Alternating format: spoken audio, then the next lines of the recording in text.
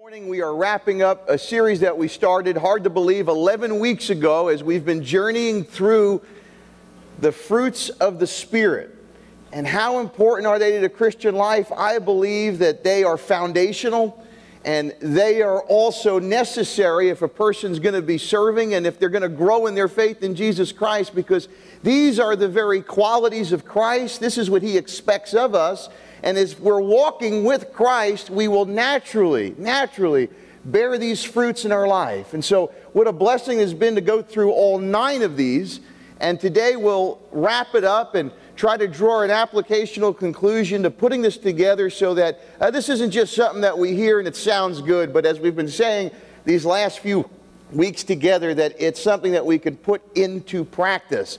And so, if you have your outline and in your scripture, uh, we've been looking at these fruits of the Spirit. Let's say this once more together Galatians chapter 5, 22 to 23. Here we have the list of the fruits of the Spirit given to us by the Apostle Paul to the church at Galatia. And this is what God lists through him as the fruits of a healthy Christian, the fruits of a healthy believer in Jesus Christ. Let's say it together. But the fruit of the Spirit is love joy, peace, patience, kindness, goodness, faithfulness, gentleness, self control. Now say this last part nice and loud. Against such things there is no law. I want you to be able to say this in your sleep, okay?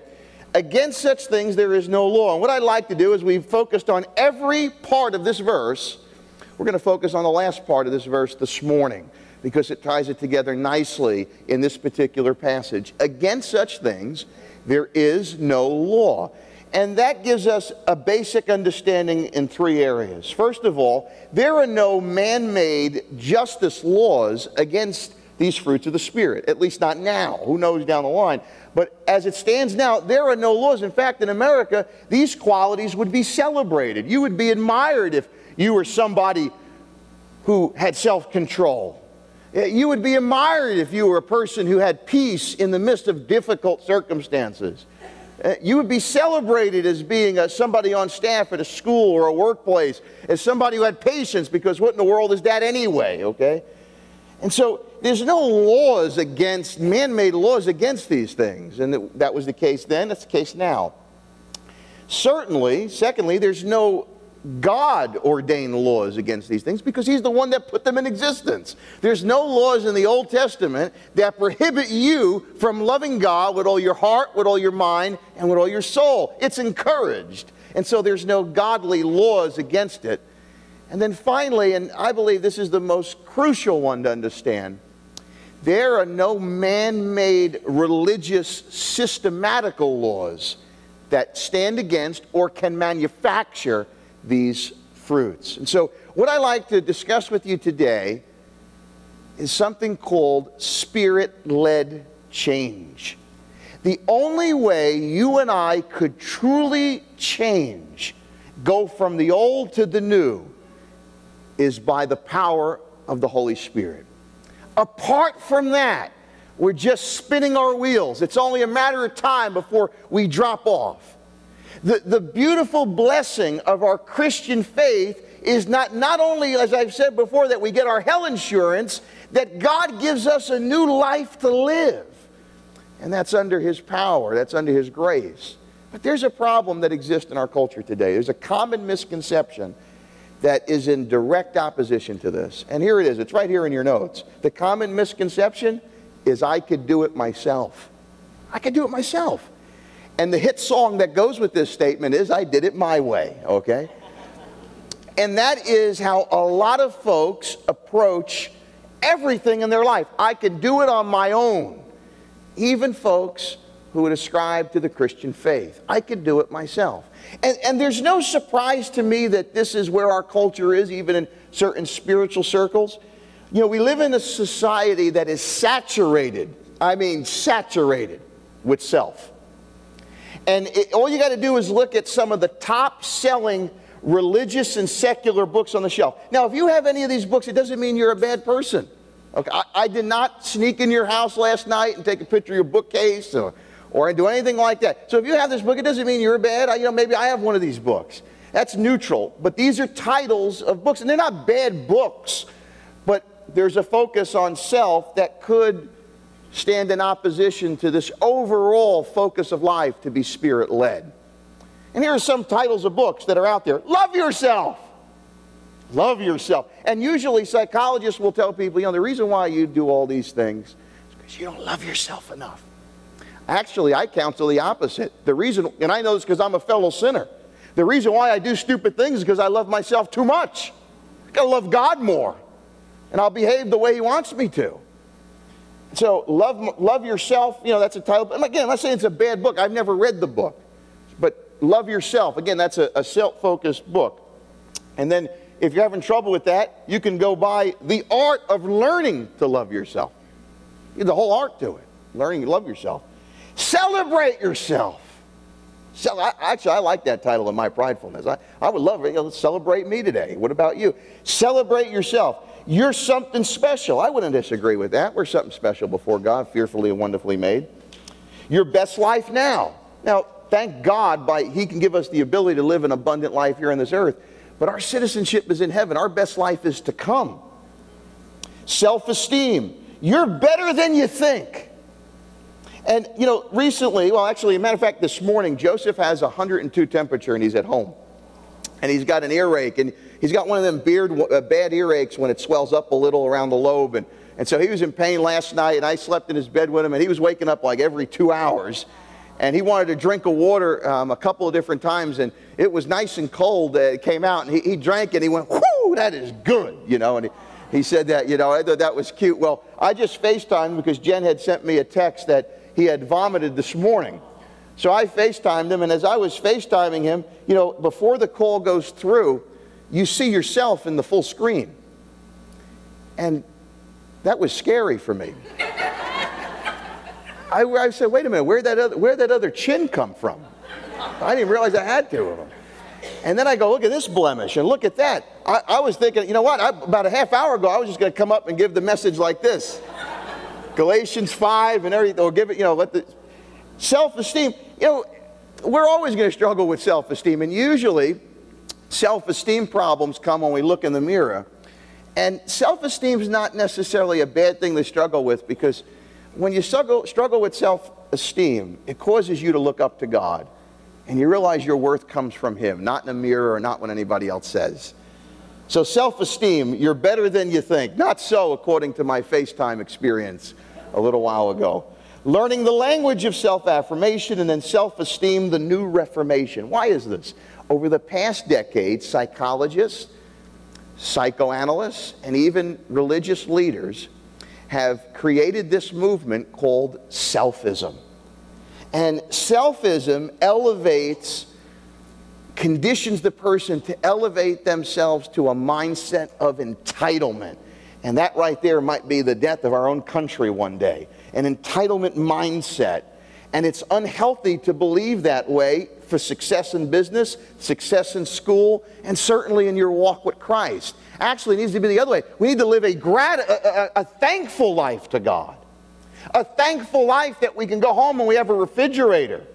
A thankful life that we're alive for another day. You know, that needs to be the, the focus, not self. And so selfism has one commandment, and it says this I am the Lord my God, I shall not have strange gods before me. And so that's the mindset of self. I could do it my way, I could change myself. Now, let me just share this with you. We can't change ourselves. We can't change ourselves. The same way that Jesus Christ is the primary person behind salvation is the same way the Holy Spirit is the primary person behind transformation. Let me say that again. The same way, now listen to this, the same way that Jesus Christ is the person behind salvation is the same way the Holy Spirit is the person behind transformation.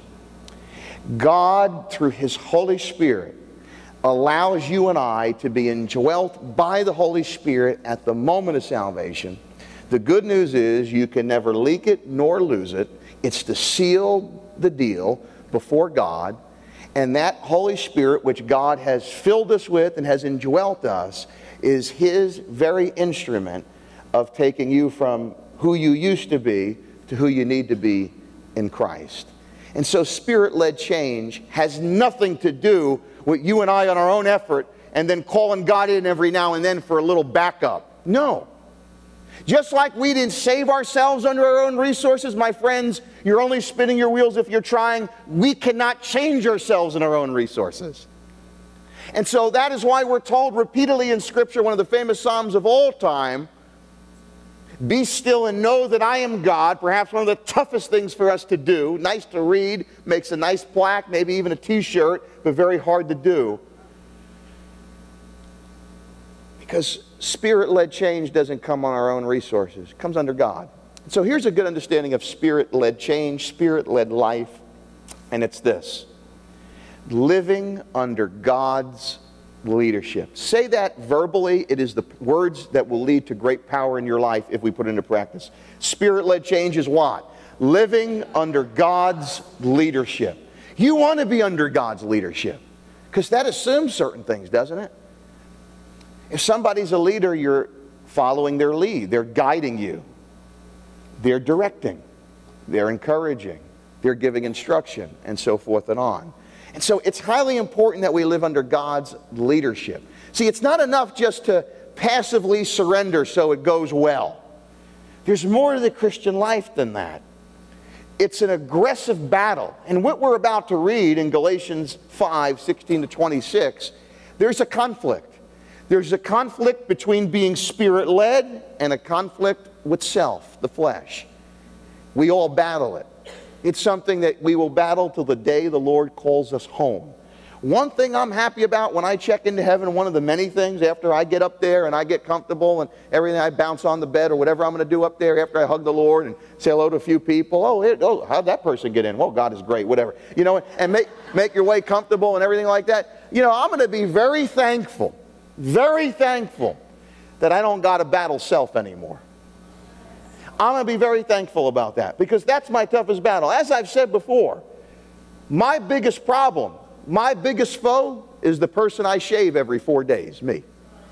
I can't go blaming, you know, Tom, Dick, and Harry for every problem I have. I have to realize that there's a battle going on, and yes, we know about uh, principalities and evil and all that stuff. But ultimately, ultimately, God has given us free will. It's our greatest blessing and our greatest curse. And we must stand before God and choose to be spirit led, choose to be given over to Him. Because there ch there's change that God wants to bring in our life. And I want to share with you this morning, as a result of these nine fruits, five areas of change that the Holy Spirit brings to our lives. And then I want to share with you something that you and I could be doing to complement it. We don't bring the change, but we want to take steps that agree with the change, not take steps in the opposite direction. Does that make sense? We don't want to be going in the opposite direction of God. That's why you don't want to fill your heart and your mind with let's puff up self. Now, again, it's not evil, it's just counterproductive. Could lead to evil. It's counterproductive. You want to do what's productive in your life because I don't know about you, maybe your life is different than mine.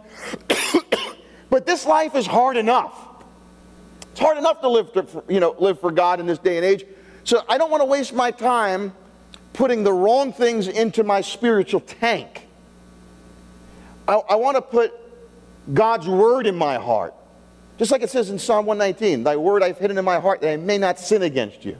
Not my word I've put in my willpower in my heart that I may not sin against you. So let's look at these five areas of change, shall we? First change, write this down highly important character change.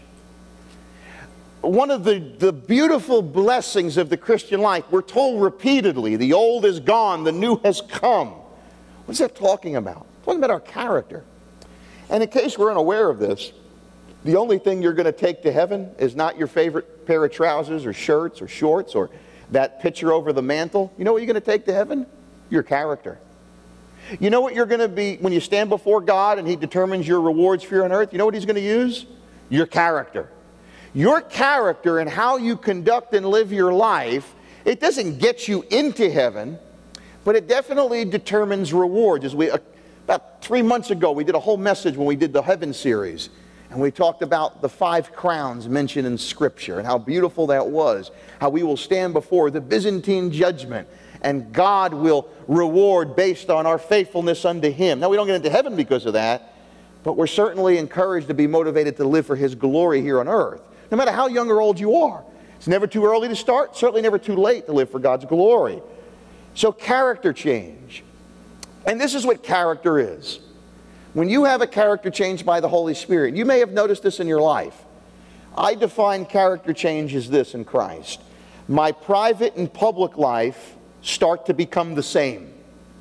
No longer am I Dr. Jekyll and Mr. Hyde. I even feel a conviction when I'm not living that way. I'm not one person, not one person in front of you and a different person the other way. Now we all struggle with that.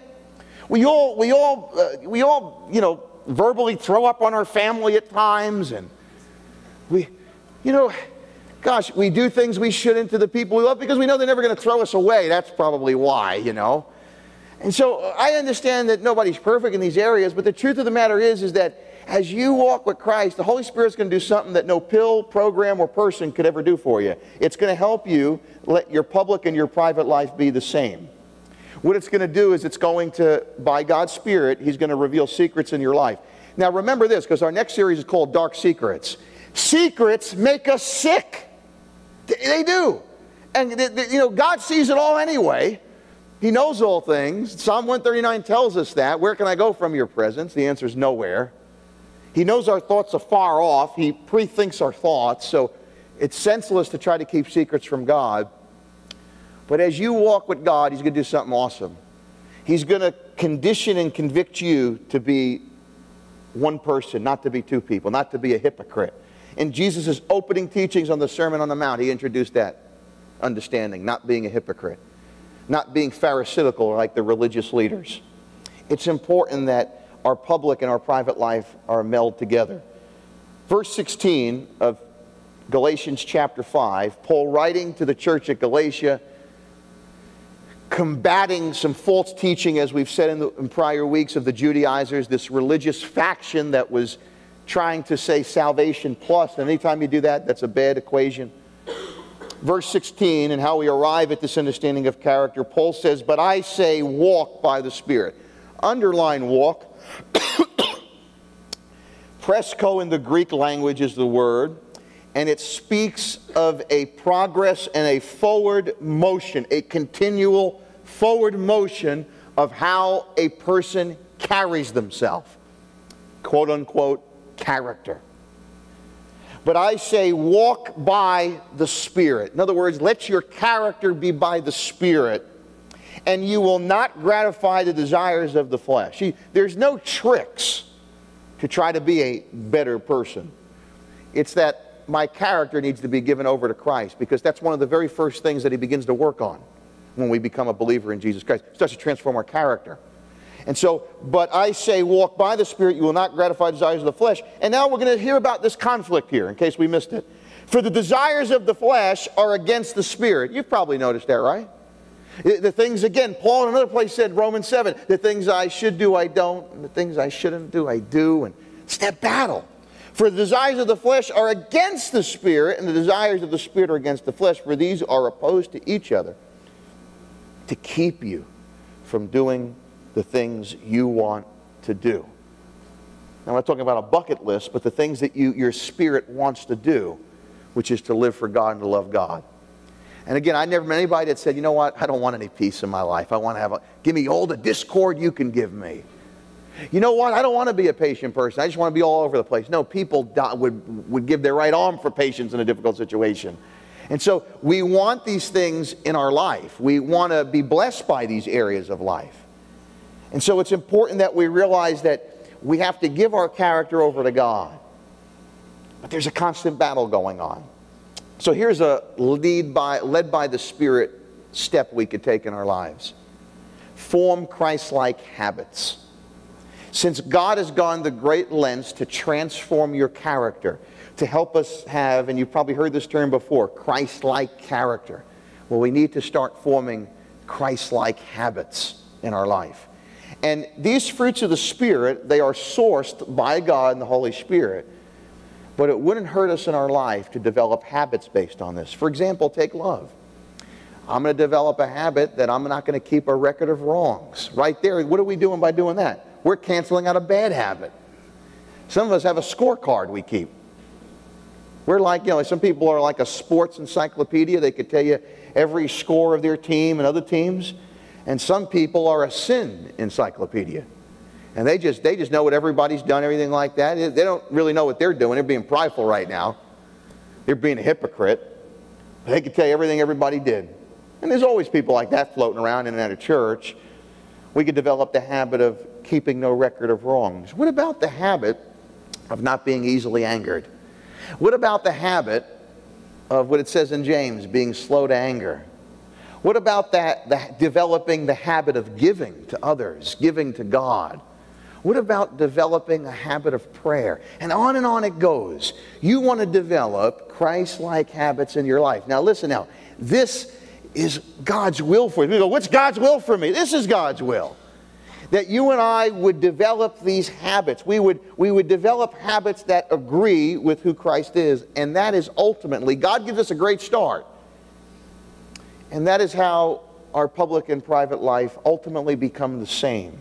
That as God has begun the transformation of our character, we take the information we learn from His Word and we use it in our life and we are transformed by His Word.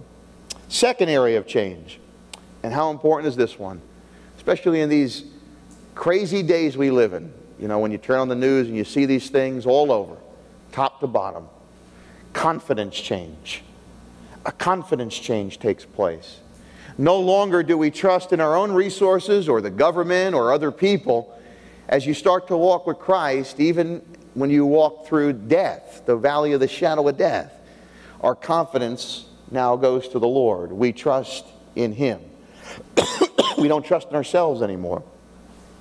How important is that for the Christian life? A lot of people go, you know, I have, I have, you know, I have great faith.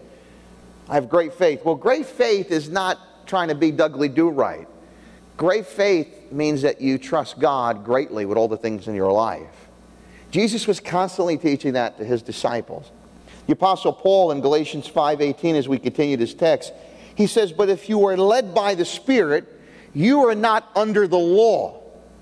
And so, in other words, he's saying if you're spirit led, as the title of our series is, Spirit led change, the title of today's message, if you are a spirit led believer, you're not under the law. See, the law in itself, God did not give the law so that man could appease his wrath of sin. The law was given to be a mirror, if you will, that it's impossible for us on our own accord. The Mosaic law in the Old Testament was given for us to see clearly that it's impossible for you and I to please God on our own. And what it does, it points people to God's redemptive plan, which is Jesus Christ.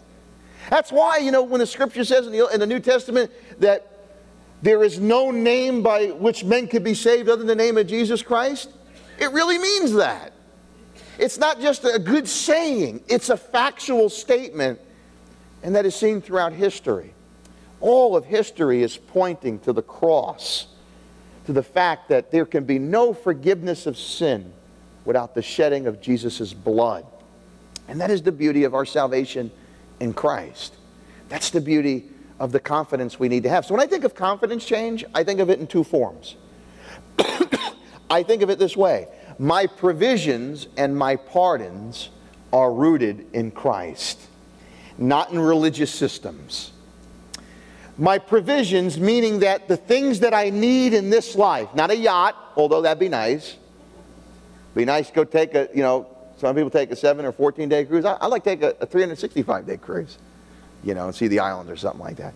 It's not our wants, our needs, our provisions, our needs are rooted in Christ. Didn't the Apostle Paul say, I have learned the secret of contentment? I've learned what it is to have a little and have a lot. I found all this out. And he gets to the end of Philippians 4.19. And he says that my God shall supply for all of my needs. According to who? The state of the economy? No. State of Christ. From his throne.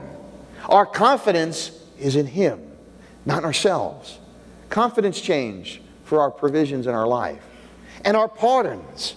We've been forgiven. There is therefore now no condemnation for those who are in Christ Jesus, Romans 8 1.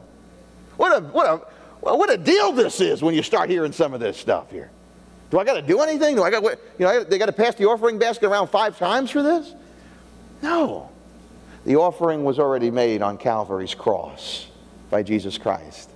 And the cross should never get old to talk about. It is the substance of who we are.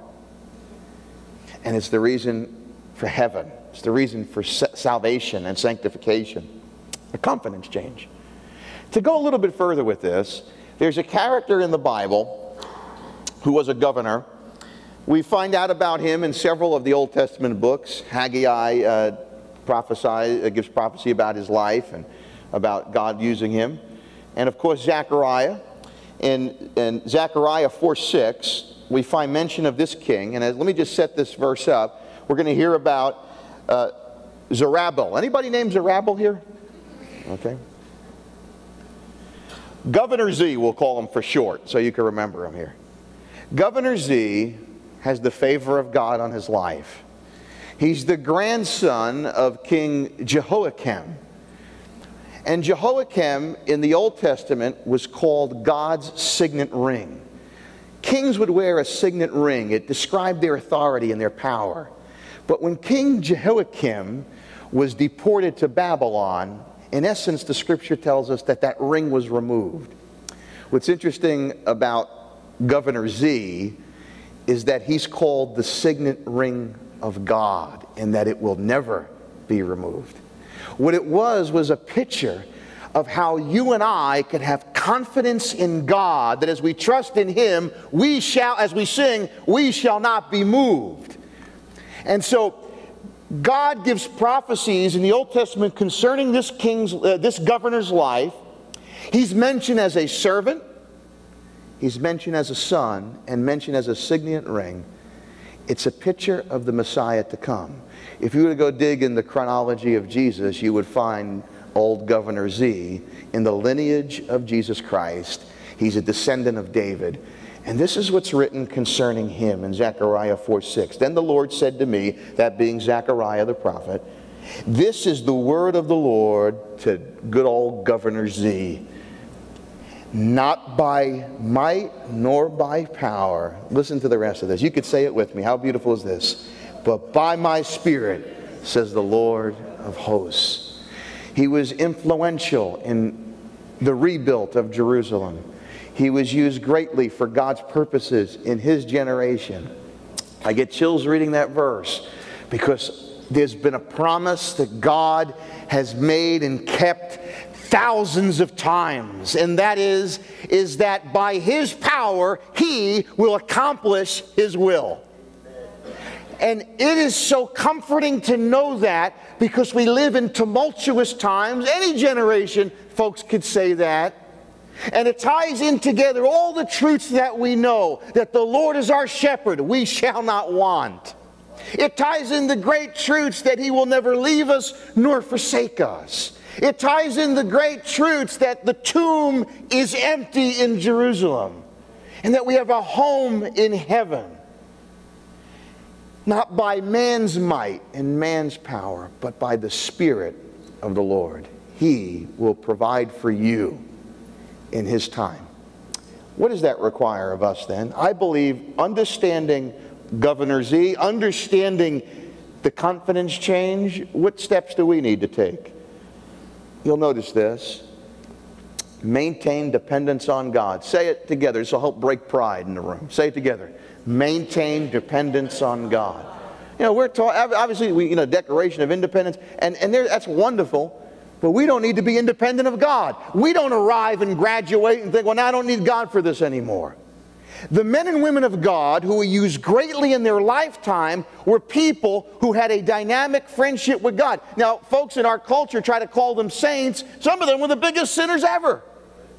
Paul, who wrote two thirds of the New Testament, calls himself the chief of all sinners.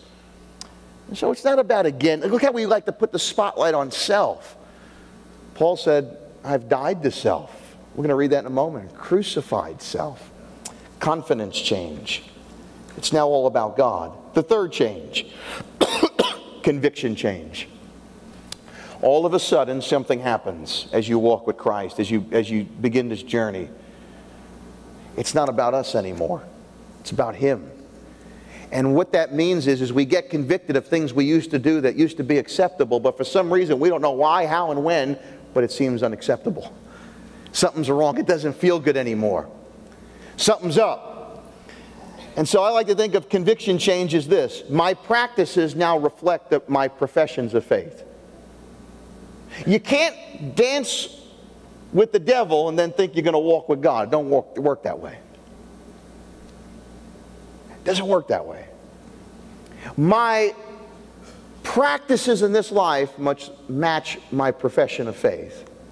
Now, the list of things that are here, you may not struggle with some of these things. This is a representation of evil. This is what it says here in Galatians 5 19 to 21.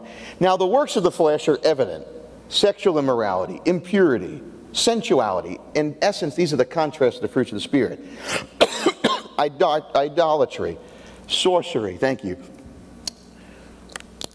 strife, jealousy, fits of anger, rivalries, dissensions, divisions, envy, drunkenness, orgies, and things like these.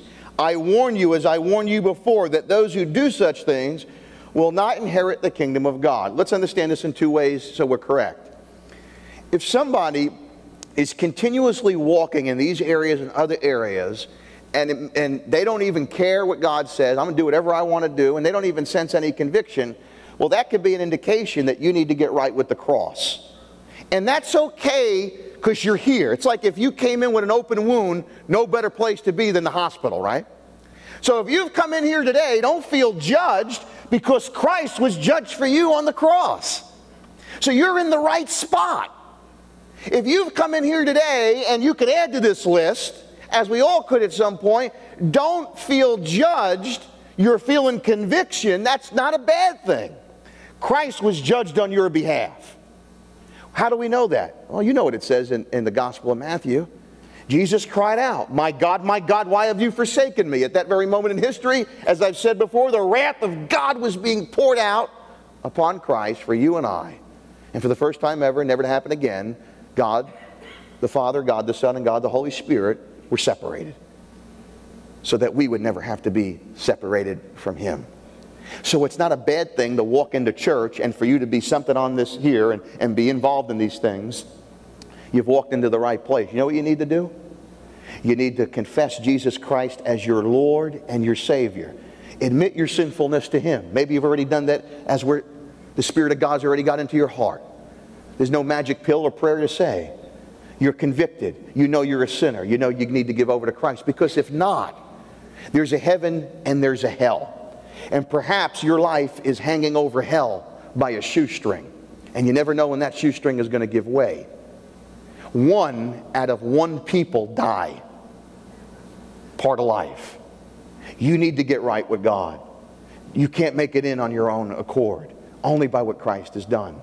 And so, if you need to, right now, in the quietness of your own heart, accept Christ into your heart. Believe that He's the way, the truth, and the life. And if you believe that, and you believe He's Lord, you are saved, and your name is written in the book of life, and it's written in blood. It can never be erased. That is our faith.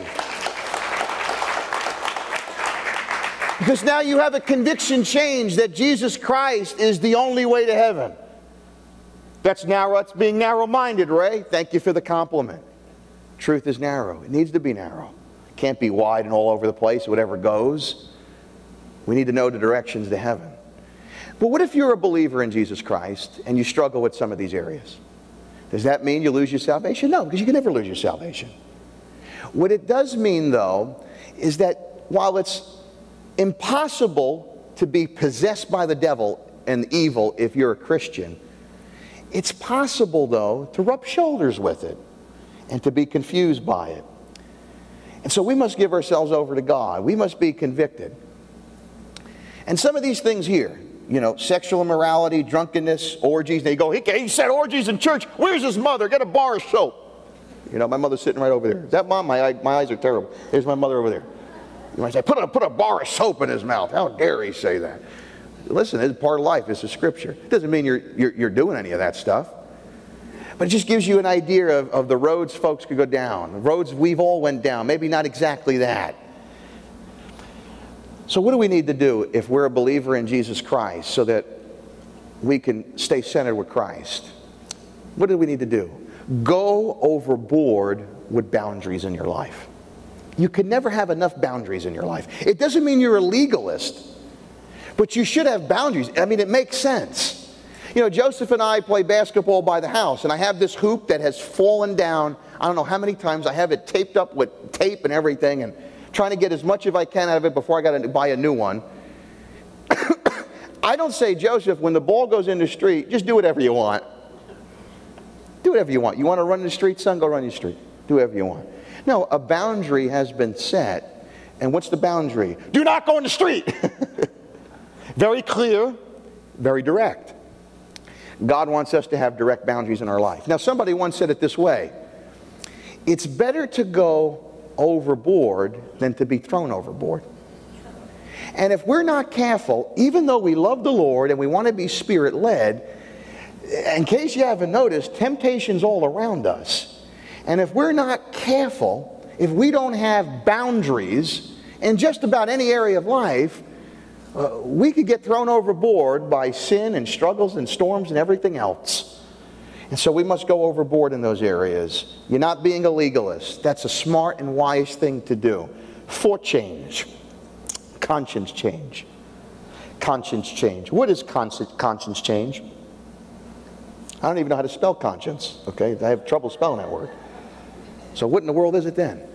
Conscience is this my perspective becomes spiritually healthy. See, a lot of times before we know Christ, we base everything on how I feel. I felt it was the right thing to do. I feel this. I feel that. But good intentions, if you're not careful, could pave the way to hell. So you don't want to base everything on, on, on what we feel all the time. It's important to recognize well, what does God require of me? Well, what does God require of us? That we would ultimately reflect Christ. And we've studied this in detail. Galatians 5 22 to 23, the fruits of the Spirit. But the fruit of the Spirit. In other words, a healthy believer is going to produce this in their life love, joy, peace, patience, kindness, goodness, faithfulness, gentleness, and self control. Against such things there is no law. Tying this into what we just contrasted with, the, the works of the flesh, we're going to struggle. Nobody bats a thousand. We understand that. The difference is, is now that we have conviction, and now our conscience is telling us uh, this isn't so right anymore. And again, as we said last week, you can have, uh, just list any struggle you have. Nothing is too big for God. That's one of the reasons why we have church to help people maximize the change that God wants for them. Imagine if every week all we did was pick on a, sin, a particular sin. Every, oh, today we're going to talk about this person, and today we're going to talk about that person. How hypocritical would that be? You know, some people, they get off. They want to hear, you know, they tell it like it is messages. God's all about telling us how it should be. Big difference. How can it be in Him? A conscience change as we walk with Christ. The fruits of the Spirit give us that. Love, to love God with all our heart, with all our mind, with all our soul, and love others as ourselves. Love, to manifest that. to let our conscience be about that. Joy and peace and patience and kindness. Faithfulness. Meekness, gentleness. And then self control and gentleness, I kind of look as the application of these other fruits. A conscience change in our life. And so, what's the step we need to take here? I would look at it this way as we're led by the Spirit, we need to evaluate change in our life by fruit, not feelings. Big difference. Let's say that together. Evaluate change by fruit, not feelings. If you want to say, okay, this is how where I am in Christ right now in my life, what you want to do is you want to look and see, okay, am I bearing fruit? Am I a loving person? Or do I continue to bite everybody's head off every time there's a problem? I don't got nothing to anger. I got no anger problems. What are you saying? Well, maybe some things need to be worked on. I don't have patient problem. When is this going to happen already? You know, Listen, we're all there. No, nobody's better than anybody here. And that, uh, you know, you didn't get in here. We don't have reserved seating for people. Uh, okay, those are everybody who has it together. You sit over here. And the rest of us losers will sit over here. And then the fakes and the phonies, they'll sit over there. You know, it, sometimes we think like that, don't we? But as our conscience changes and our perspective changes, we begin to evaluate things differently, don't we? We evaluate things now based on the fruits of the Spirit. The guide for your life, the measuring stick, the barometer needs to be the fruits of the Spirit. And if I'm loving myself more than I'm loving God, well, guess what? I got to get with the cross. I got to get with Christ. And I got to give that over to Him. I got to give my life back over to Him. Maybe I've gone off course, whatever it may be, but I got to get right with God. And He loves me. He's been waiting for me. He's patient. I'm not, but He is. I got to let the mask take the mask off and get right with Him and stop pretending it's not an issue. I got to evaluate on fruit. Where am I? Am I out of control? Do I think I need things that I really don't need? I need Christ. I don't need a, another person. I don't need another possession. I don't need another drink. I don't I need Christ. He needs to be the substance of who we are. He's the author of true recovery. There's no recovery apart from Christ. Eh, there, there's no healing apart from Christ. You know, some people go, why did Jesus heal in the gospel? Well, we know why some of his followers did. They thought it was a sideshow. King Herod did. You know, some of his followers said, man, he's good for business. Let's bring him along. This whole, you know, fill the boats with fish trick, that's pretty awesome. Walk on water trick, heal leprosy, whoa. He was healing to demonstrate the power of God that comes from his throne. And it's that same power that parted the Red Sea. It's that same power that closed the mouths of the lions. And my friends, it's that same power that came upon Mary when she was found to be with child. She had never known a man. It's that same power that when there was no hand and Jesus touched the leper and a hand appeared. It's that same power that rose folks from the dead. It's that same power that healed the blind instantly, no patch over the eye, and come back in six weeks for treatment. And it's that same power that rose Christ from the dead. And that's why our faith is exclusive, because of those truths. And we evaluate based on fruit. And so, based on these truths, my friends, there's one last change that I want to tell you about. Write this down. There's the commitment change. The commitment change. There's a new loyalty now. You know what the old loyalty used to be? To self. You know what this book, We'd mentioned books at the top of the message. You know what this book says our loyalty needs to be? To God, to heaven. And I make you promise, you won't get to the end of your life living like this and having regrets. Actually, the opposite is sadly enough true. For folks who don't live their life to the loyalty of Christ, there's regrets. But as the Apostle Paul said, is if we could be poured out like a drink offering, if we can run the race and fight the good fight, what does that assume? That there's been a commitment change. And we are what we are committed to. You're committed to a good marriage, you have a good marriage. You're committed to building a relationship with your child. They get a little crazy, we know, from certain, you know, like 16, they think they know everything. 22, they, they've mastered everything. And then they come back home, you know, their mindset after a while. Maybe money runs out or something like that. But every once in a while, you get, you know, you get a kid who's, who's ahead of their years. and They don't think that way. You know, it was all over the news, and it was sad about that New England Patriots gifted player who um, was charged with murder of a, um, a semi-pro football player. And he actually went to college with Tim Tebow, who, regardless of what any people try to say, I think he's a tremendous athlete, tremendous football player, and even Beninez, a tremendous believer in Jesus Christ. So they interviewed his coach, and they said, because they found out that Tim would try to help him, and actually broke up a fight one time at a bar and other issues that went on. And they said, how come Tim Tebow, you know, didn't have the, the same tendencies that all these other kids and this guy had and other things. He says, because usually, you know, college guys who, you know, who are athletes, or any, any guy for that matter, has this is the three things that are on their mind women, women, and women. Those are the three things that are on their mind. And he said for Timmy, it was God, it was God, and it was God. And I said, wow, what an incredible statement for somebody who's not a, his pastor or anybody else to make of him. And that needs to be the case with us, I believe, in our lives. That, that, that's where God wants us to be because that's the right priority, isn't it? And that's what commitment change is. This is what it is. My priorities bring honor to God. Can we say that together?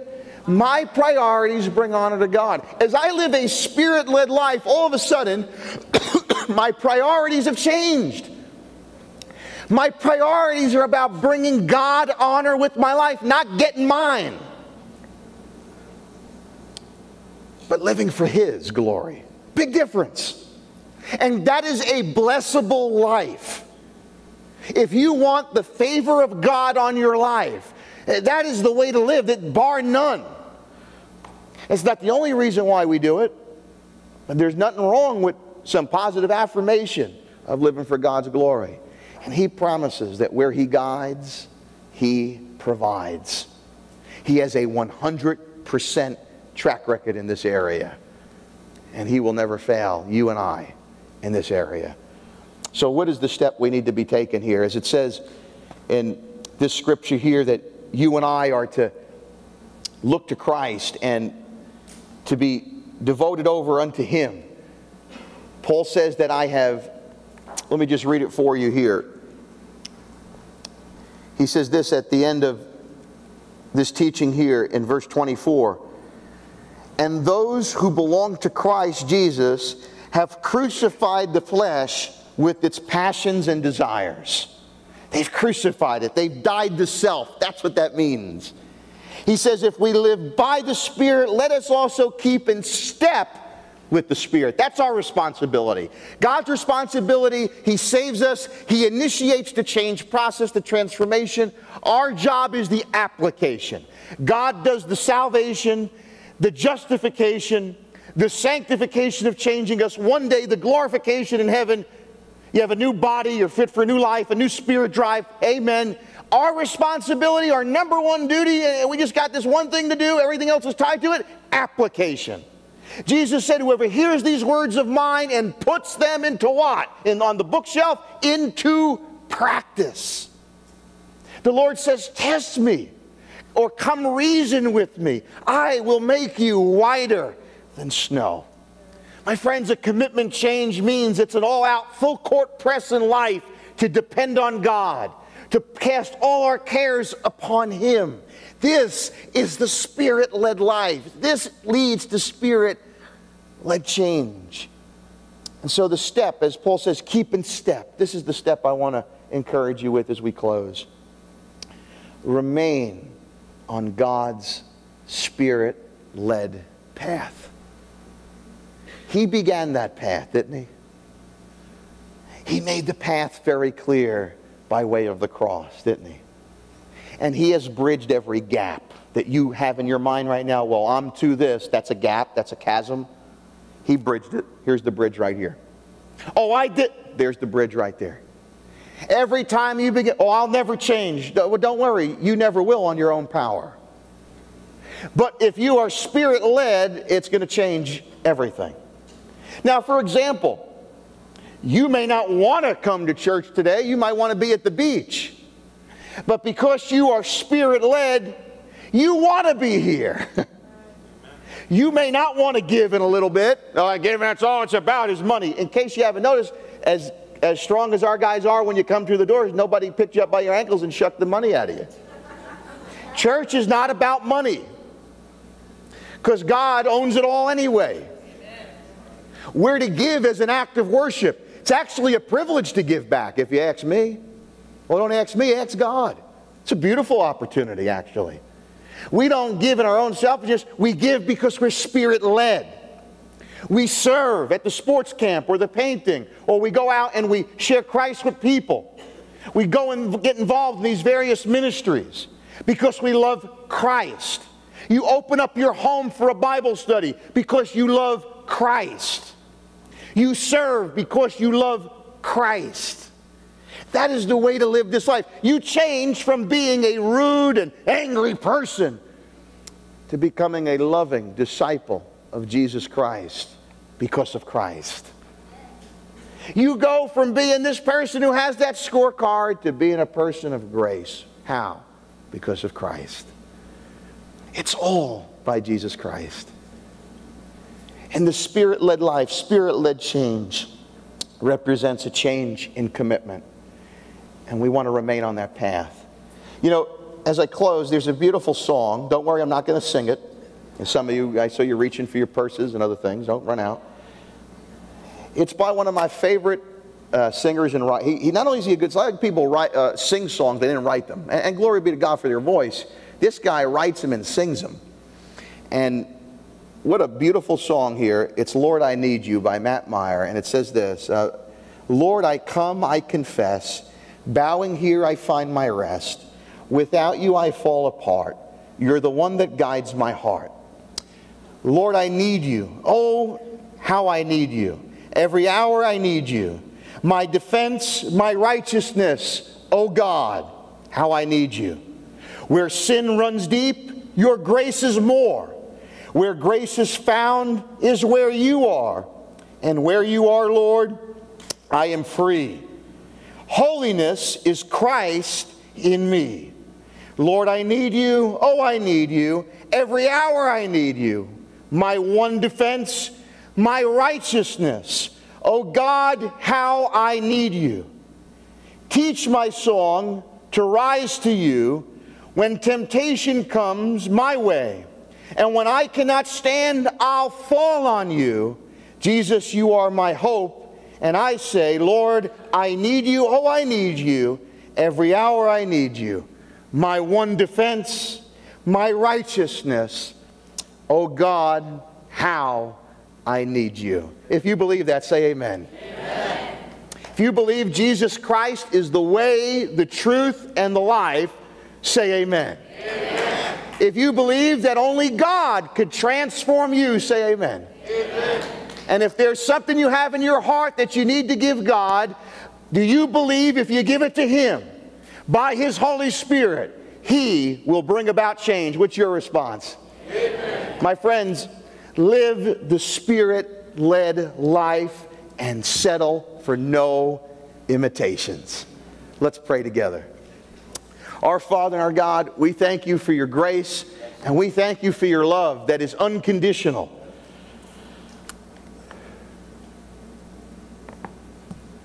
We thank you that your promises never change. The grass withers and the flowers fade, but your word stands forever and your promises stand forever.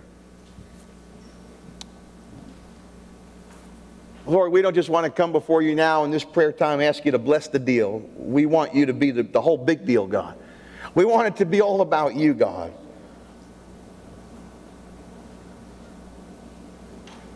So we commit ourselves before you today. We thank you for these changes that your Holy Spirit has initiated. We want to apply your truths.